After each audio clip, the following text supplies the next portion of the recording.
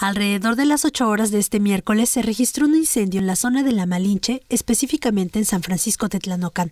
Al lugar acudió una brigada de la Comisión Nacional Forestal para sofocar el fuego, el cual quedó controlado poco después de las 11 horas.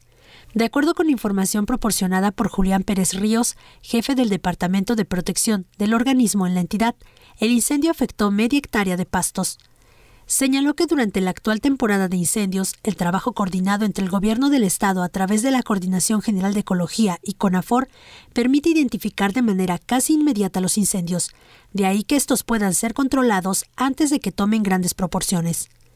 Los incendios forestales se pueden prevenir si se reportan oportunamente. Es por ello que la CONAFOR emite las siguientes recomendaciones. Evitar arrojar basura, materiales inflamables y objetos encendidos en carreteras y caminos. No tirar vidrios, botellas, desperdicios o cualquier tipo de material combustible. No encender fogatas.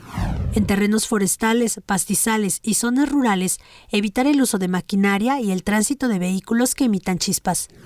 A los productores del campo se les exhorta a realizar quemas agrícolas controladas.